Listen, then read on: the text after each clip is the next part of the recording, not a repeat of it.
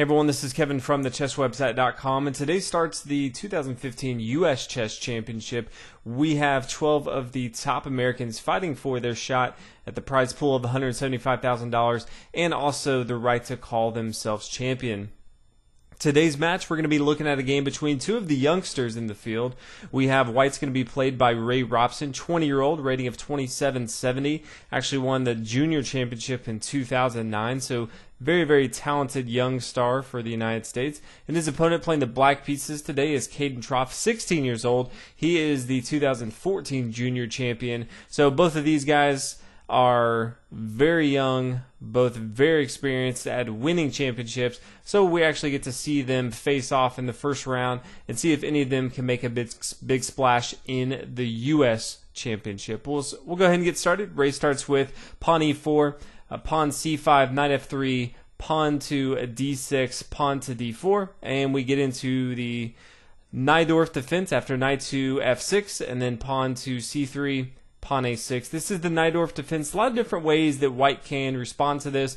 My personal favorite, I like to play bishop here to c4, and then you're going to bring it back to bishop here to b3, and really just hone down on this long diagonal right here. Since your opponent's played pawn to d6, more than likely they're going to bring their pawn up here to e5. They're going to have a backward pawn here on d6 that you can attack. But bringing your bishop back here to b3 is going to allow you just a lot of time to attack this square here on f7, which is a weakness for black early on. This is how Fischer liked to play. I studied a lot of Fischer when I grew up, so that I kind of mirror his play style. But uh, Ray Robson decided to play a little different. Uh, he played bishop here to e3, and this is more of the, the modern main line, so you see this more frequently. And from here, we see play continue with pawn to e5, as we talked about. We do see a backwards pawn here on d6, so something that white can potentially attack later on down the road.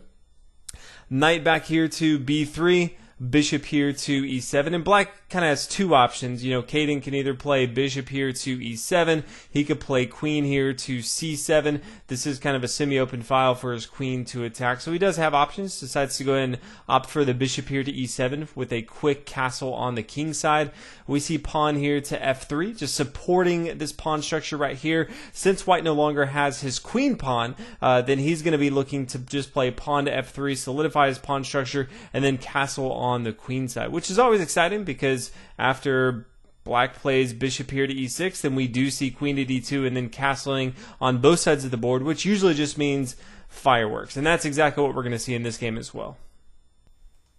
So as we look at both sides, White's really going to be looking to dominate the king side. Uh, Ray really has a strong queen side defense. He'll eventually want to make sure that he gets his king here to b1 to protect the square here on a2. But it's going to be very easy for him to just push all his material up on the king side. Also wants to make sure that he continues to control the square here on d5. This is a very central square that right now he doesn't have a pawn, so he needs to make sure that his other pieces maintain that control. Later on, he does again have the ability to attack this backward pawn here on d6. Now, if you're looking at Kayden's side, his option is going to be just counterattack on the queen side. He knows that his opponent is just going to be throwing the kitchen sink at him on the king side, but the queen side is again where his opponent has castled, and so he can start to push a lot of opponent put a lot of pressure on his opponent. He does have a nice little outpost here on d4. He can get one of his pieces too. He has a semi-open file here on the c file, so he can get both of his rooks involved, really attack white on the king side. So from here, we see knight here to d7, opening up the door for the rook in a8 to go ahead and get involved into the game. Pawn to g4, we talked about white's just going to throw pieces and material over onto the king side. Pawn to b5, black counterattacking on the queen side. Pawn to g5, pawn to b4. And this was kind of exciting when I saw this, knowing that both sides are kind of going right at each other. Instead of just moving this knight right here, deciding, you know what, let's go ahead and change it up. Uh, let's just go ahead and trade off knights and just have a pretty aggressive game. So we do see an exchange off the board after the queen takes and the knight recaptures. Uh, then knight up here to a5, getting ready to attack here on c6 if he needs to. Now, it would be a mistake. You know, the bishop could come here to a2. Ray does a really good job of setting a lot of traps that may not look like traps, but if the bishop were to come down here to a2, we get to knight to c6, attacking the queen. If the queen moves, then the knight takes here on e7 check forcing to take the knight here. And then all of a sudden, pawn to b3. This bishop is now trapped. The queen can come here to b2, and this bishop's going to fall. So that's not going to be good. Uh, Kayden does not fall for the trap. Instead, after the knight comes here to a5, decides to go and play rook over here to c8, which I really love. Again, getting your pieces active on the board. Kayden really needs to make sure that he's attacking this queen side with his powerful pieces like his rooks. So after the rook here to c8, we do see a knight here to c6, attacking the queen. After the queen here comes here to e8, decides to go ahead and take that bishop off the board. This is going to be somewhat of an open game, so anytime you can take your opponent's bishops off the board, especially if you can trade with a knight, that's definitely not a bad thing. So after the queen recaptures, then queen up here to a5. This is now a very important square in piece. Uh, the pawn here on a6. We see the queen here on a5 and both the bishop here on f1 are attacking this square. So black has to be very aware of this isolated pawn on here at a6, or it's going to fall, fall very quickly. After the rook here to c6, we do see white play king over here to b1. It would be a mistake if we saw bishop here to a6 because rook to a8 would be completely devastating. So Ray recognizes that, decides to not take with his bishop. That would be very detrimental. And plays king over here to b1, as we talked about. Definitely a safe move. He needs to make sure that he does have a piece defending the square. The bishop here on e6, all of a sudden it can kind of disappear on you, but it's definitely attacking the square in a2. Uh, so he needs to make sure that he can roam around with his queen and still have control with his king here on b1, protecting the square on a2. Kayden now plays pawn here to d5. I personally am not a huge fan of pawn to d5. I think if we look at what he's trying to do, rook to c8 makes a whole lot of sense. He gets his other rook involved into the action. It doubles up his rooks on this semi-open c file. White's going to have to be more reactive in this spot. Can't really do anything except try to defend against this attack. Um, but pawn to d5 all of a sudden allows Ray Robson to really have an exchange that I think favors him. So after the pawn takes, we do see the knight take here on d5, uh, the rook taking up here. After the bishop takes, the queen takes, and white is kind of up as far as the material. It definitely has the double bishop pair, which is going to be just a pain for black to have to deal with. And so we basically have two bishops for a rook, and, and I would much rather have the two bishops on board than a rook, especially going into a very, very open in game, White's going to be able to control a lot of the board with his bishop. So I don't re- I don't really think that Kayden made the best play with pawn here to d5, but you know you have to live with it, and then hopefully he can find a way to get out of this mess in the end game. So rook here to d6, forcing the queen to come back here to e4. Uh, now comes down here to d1, forcing the bishop to come back here to c1. Always good to make your opponent play defense. Uh, it doesn't want to make sure that he loses to a checkmate. Queen here to g5, uh, and then pawn up here to f4. Very important how black captures. He, he does correctly capture with his queen. If he were to recapture with his pawn on f4, then all of a sudden white can play bishop here to d3, threatening mate here on h7 Black would have to respond. You know, pawn here to g6 would be an option, getting the queen involved, uh, and then all of a sudden you would see this rook here on d1 fall. So that would definitely be bad. Instead, Black correctly takes with his queen here on f4, and Ray decides to go ahead and just exchange off the board. He sees that he does have the material advantage. He can dominate the endgame with his bishop pair, and so getting the queens off the board is exactly what he's looking to do.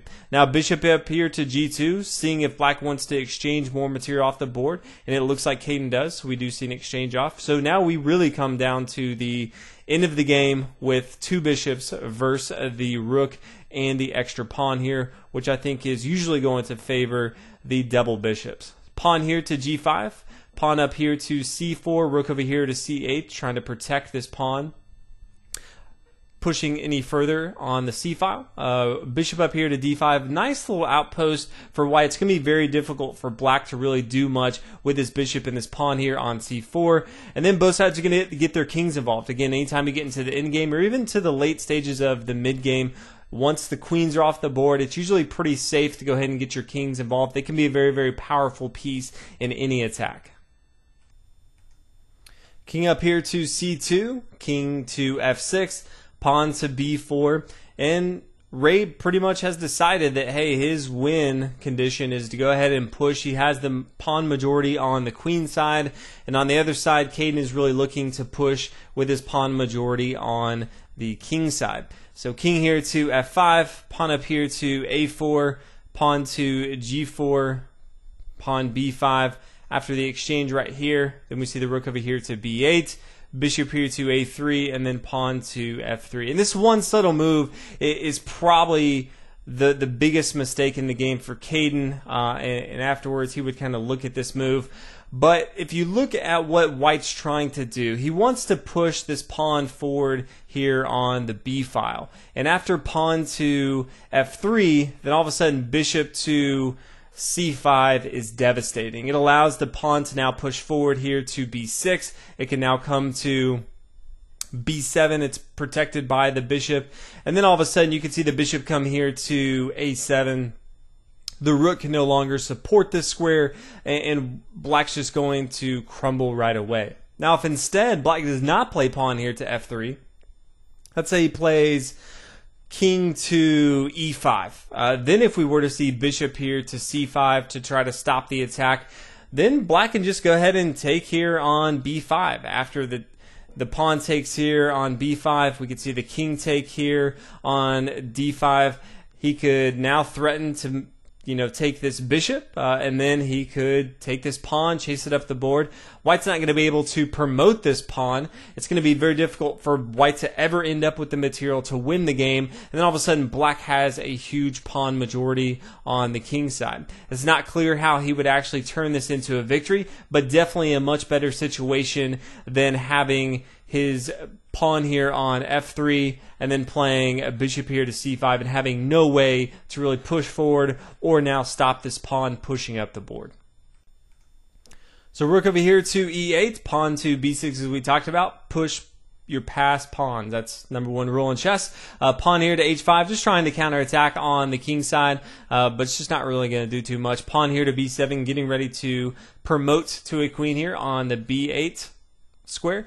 Pawn to h4, bishop here to a7, just another layer of protection once this pawn pushes forward. Uh, pawn to h3, king over here to d2. Wants to make sure nothing crazy happens. If this rook does pass the chasm here on the e file, the, the king can just come over here and make sure that you know Ray blocks any try that black has to promote a pawn right here. A pawn here to g3, and then the queen up here to b8. And this is where the game indicator decided to go ahead and resign. There's just no way for black to stop what White's doing right here. So really awesome game to see some of the youngsters uh, from the United States square off. Ray Robson uh, again just been dominating for a long time. At 20 years old, definitely uh, one of the young stars. So excited to see him in round one get a huge victory. Uh, Kayden only 16, bright future again. The junior champion played extremely well. A few moves uh, that could have been a little bit better, but excited to see him actually in the tournament. Always good to see